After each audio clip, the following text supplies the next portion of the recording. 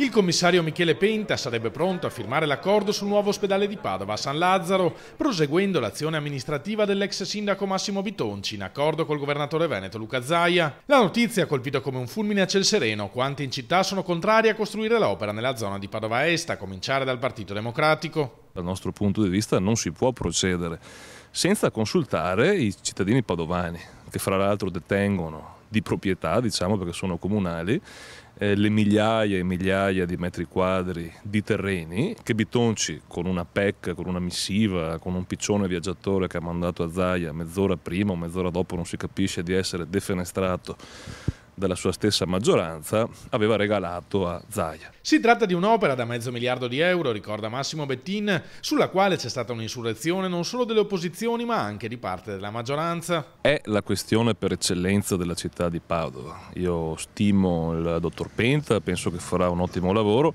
dico anche che il suo ruolo in questa città dura sei mesi al massimo non è immaginabile che eh, dire, la, la, volontà popolare, la politica quindi, non abbia un ruolo in questa scelta.